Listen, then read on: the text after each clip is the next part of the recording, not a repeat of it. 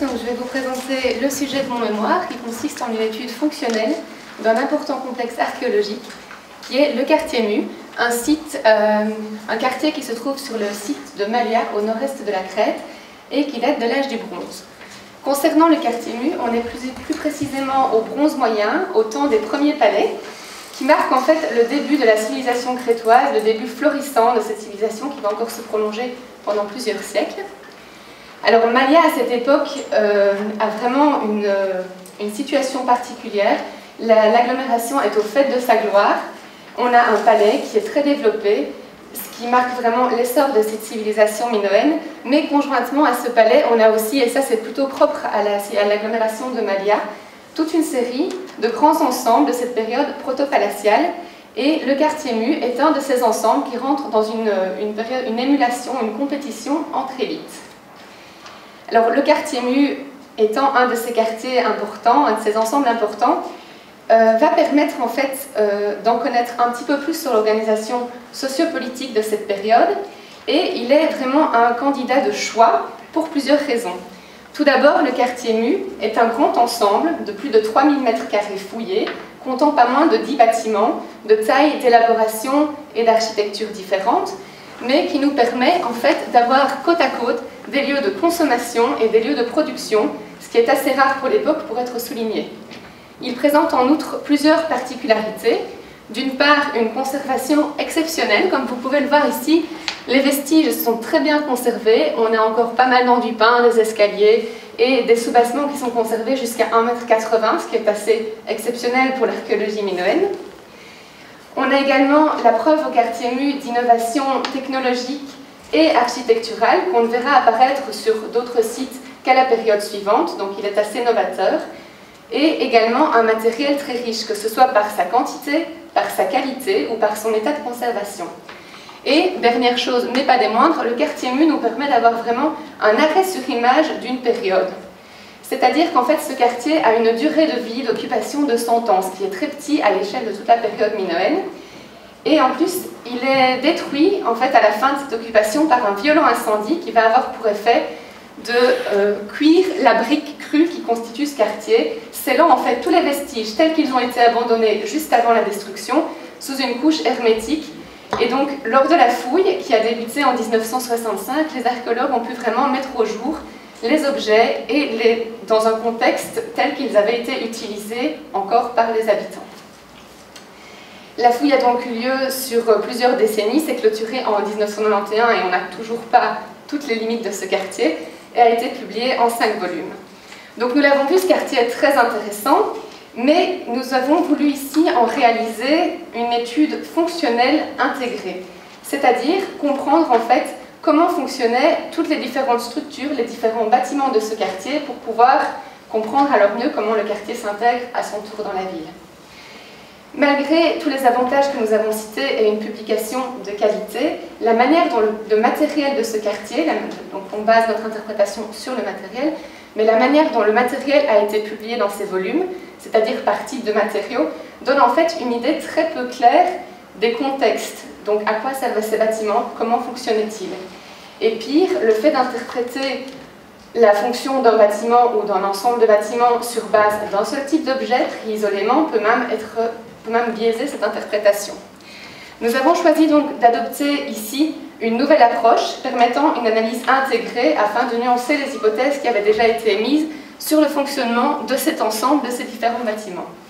Deux grandes hypothèses ont été émises, d'une part par euh, le fouilleur Jean-Claude Poursat, qui lui voyait plutôt dans ce quartier des bâtiments, que ce soit des grands bâtiments de consommation, des bâtiments plus secondaires, plus petits et des ateliers, il y voyait plutôt en fait une dépendance, un fonctionnement où tout fonctionnait ensemble, un quartier vraiment intégré, tandis que d'autres auteurs, comme par exemple Yann Brisson, y ont plutôt vu des bâtiments pouvant fonctionner indépendamment, étant peut-être moins liés que ce qu'on pensait.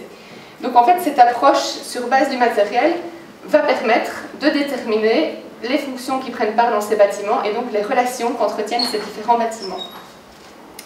Pour cela, nous avons développé une méthodologie que l'on peut résumer en quatre points ici.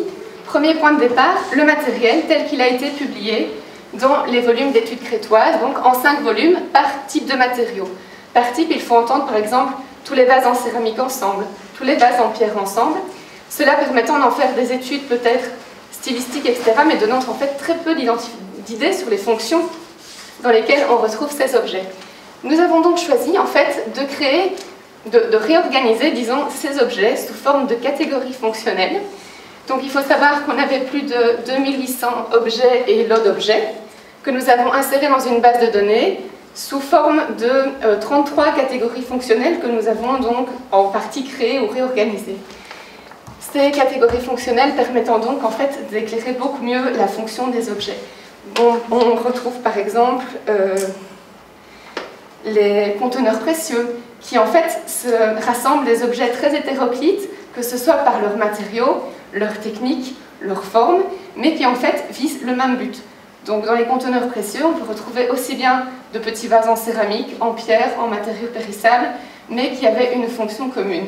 Et c'est pareil pour les 33 catégories fonctionnelles que nous avons réorganisées.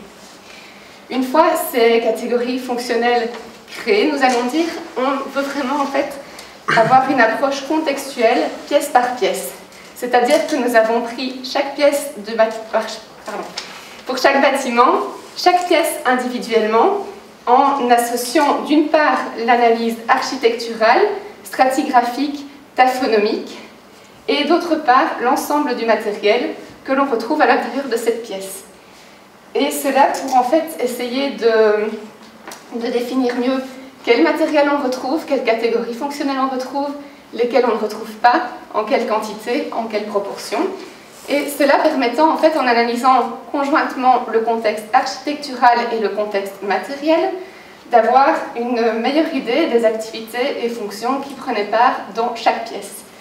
Et enfin, dernière étape, on dézoome et au lieu de regarder pièce par pièce, on regarde vraiment qu'est-ce que toutes ces pièces, les activités, les fonctions qui y prennent part, peuvent nous apprendre sur la fréquence et la répartition de ces activités, de ces fonctions à l'échelle des bâtiments et plus largement à l'échelle du quartier.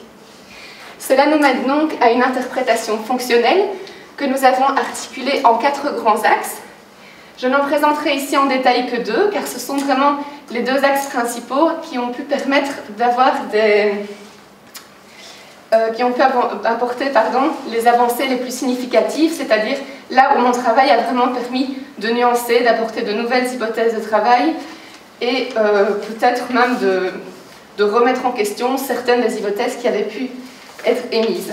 Je parlerai donc notamment brièvement pour conclure de la production et de la consommation et du fonctionnement intégré du quartier mu. Concernant la production, on savait en fait qu'il y avait des ateliers, ils avaient été identifiés comme étant spécialisés, donc l'atelier de potier, de fondeur, de seau notamment. Ce que notre étude a permis de mettre en lumière, grâce à cette étude du matériel en contexte, c'est qu'en fait, un seul semble pouvoir être qualifié de spécialisé, c'est-à-dire qu'il n'y a que pour l'atelier de seau qu'on retrouve une chaîne opératoire complète et une activité qui ne prend part que dans l'atelier de seau. Pour les autres, on pourrait plutôt alors parler de polyvalence, c'est-à-dire qu'on retrouve une chaîne opératoire qui n'est pas complète et qu'on retrouve une même activité, un même type d'artisanat réparti à plusieurs endroits du quartier.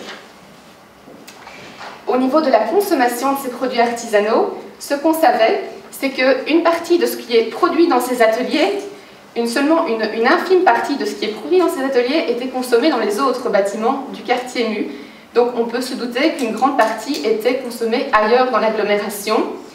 Et on savait également que ces grands, bâtiments, on va dire les autres bâtiments du quartier, s'approvisionnaient auprès d'autres ateliers, pas uniquement, et loin d'être uniquement auprès des ateliers qui étaient périphériques dans ce quartier. Ça, on le savait déjà, surtout sur base de l'analyse des sauts produits et consommés.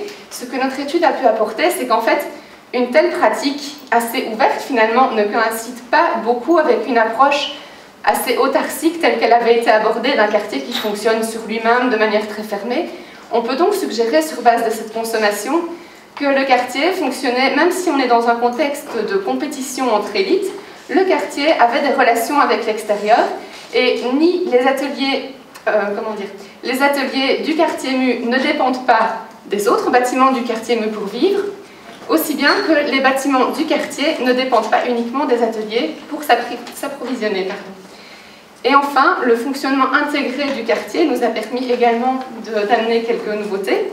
Ce qu'on savait, ce qui a été tout de suite évident euh, dès les premières euh, années de fouilles, c'est qu'on avait une architecture, une élaboration architecturale et une qualité du matériel qui était différente en fonction des structures. Ce qui n'est pas étonnant quand on parle d'un grand bâtiment d'apparat ou d'un petit atelier. On s'attend d'office à avoir une différence matérielle de l'élaboration, etc. Mais ce que notre étude a permis de mettre en lumière, c'est qu'en fait, malgré cette différence, chaque structure semble euh, avoir les possibilités de vivre indépendamment, du moins pour ce qui est de la vie quotidienne, des activités quotidiennes. On n'a donc pas, en fait, comme ça a longtemps été dit, une relation de dépendance de ces petits ateliers envers les grands bâtiments du quartier mu. Il en est de même pour des bâtiments périphériques plus petits qui avaient été euh, identifiés comme des annexes, de simples placards servant aux autres, aux grands bâtiments du quartier. Rien, en fait, dans l'analyse du matériel et dans la comparaison des activités et des fonctions ne permet de dire qu'ils entretenaient une relation et qu'ils étaient dépendants de ces grands bâtiments. Enfin, quant à la spécialisation des activités, c'est-à-dire des activités particulières prenant place à certains endroits, nous avons bien sûr pu confirmer certaines hypothèses qui avaient déjà été émises. Par spécialisation, j'entends par exemple le stockage, l'administration, des pièces plutôt destinées à l'apparat et la consommation, ou à la production ou au culte. Cela avait déjà pu être identifié à certains endroits. Notre analyse en fait des contextes mobiliers et architecturaux intégrés a permis d'en identifier de nouveaux, mais en fait a surtout permis de nuancer ces fonctions. C'est-à-dire qu'on a plusieurs types de stockage, comme on a plusieurs types de cultes, dans plusieurs pièces qui sont différentes, et plusieurs ensembles de matériel peuvent témoigner d'un stockage. C'est-à-dire qu'on n'a pas un canon, un, type d'ensemble qu'on doit retrouver absolument et qui signifie stockage. On a plusieurs types de stockage identifiés par plusieurs formes matérielles différentes. Cela nous permet en fait de conclure que le quartier est vraiment entre autonomie et complémentarité, c'est-à-dire que les bâtiments peuvent tantôt avoir fonctionné de manière conjointe, tantôt avoir été plutôt indépendants, et cela dépend vraiment en fait de l'angle d'approche, de l'activité qu'on regarde. Pour certaines activités, on a une autonomie, pour certaines activités, on a une grande complémentarité des ensembles de ce quartier. Ceci est évidemment une première interprétation, euh, il est certain que peut-être encore d'autres vont venir nourrir la fin de cette rédaction, donc euh, j'espère que je pourrai encore nuancer d'autres choses. donc voilà, c'est déjà les premières euh, interprétations.